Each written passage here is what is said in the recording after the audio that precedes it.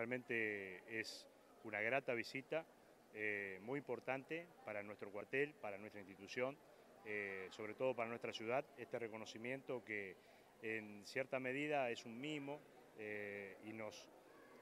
permanentemente nos, insta a que sigamos con nuestro trabajo, ya que obviamente como sabemos esto es ad honorem, la gente que está acá no cobra nada, lo hace todo por vocación, así que esto sin duda es una buena palmada para que podamos seguir con nuestro trabajo, seguir capacitándonos y poder brindar un mejor servicio a la comunidad. Ellos como parte importante de,